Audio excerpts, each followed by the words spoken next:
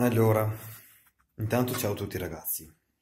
Ehm, stavo appena girando un video con il telefono perché ho la GoPro eh, in uh, assistenza, diciamo, e mi rendo conto che al posto di essere partito il video è partita la fotocamera. Non vi posso eh, negare che eh, le bestemmie che sono partite sono tante mi hanno sentito fino in piazza Venezia. E, ehm, e, quindi rifaccio il video, non lo rifaccio lungo come prima col cavolo.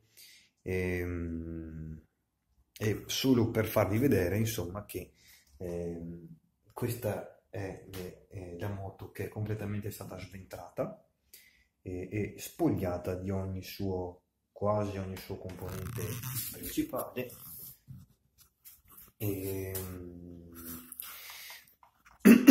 Madonna, se muro. Usciranno eh, dei video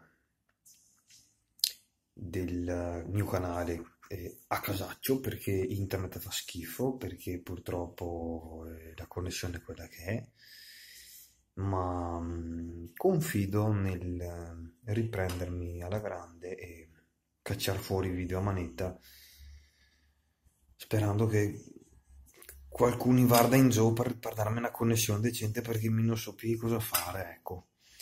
Ehm, il video si conclude qua, iscrivetevi al canale, ehm, guardate, state mm, sintonizzati perché usciranno dei video veramente cazzuti, ma soprattutto eh, fate qualcosa per far passare quest'inverno perché non vedo l'ora di riattivare l'assicurazione eh, perché è da una settimana che non tocco la moto.